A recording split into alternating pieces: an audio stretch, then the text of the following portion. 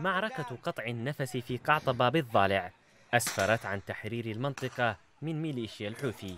ولا تزال المواجهات مستمرة لاستكمال تأمين المنطقة واستعادة المواقع التي سيطرت عليها الميليشيا خلال الأيام الماضية.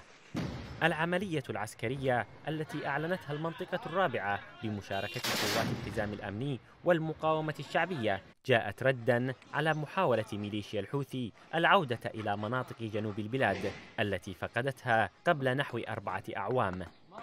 هذا التصعيد من قبل القوات الحكومية جاءت بعد انتقادات واسعة من الأداء السيء لوحداتها في المنطقة وقيادتها في عدن.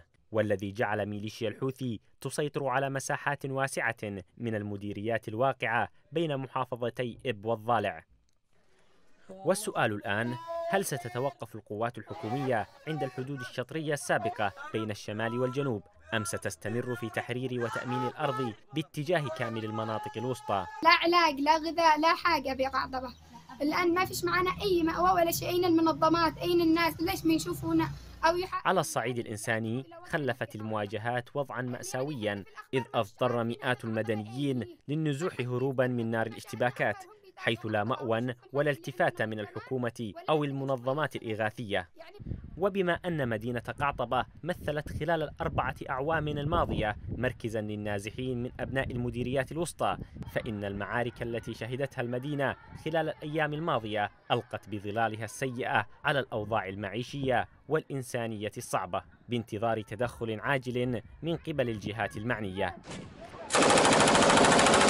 خذلان الشرعية والتحالف لمشروع المقاومة في مريس ودمت وجبا. هو من أوصل الوضع إلى أن تطرق ميليشيا الحوثي أبواب الجنوب مجددا.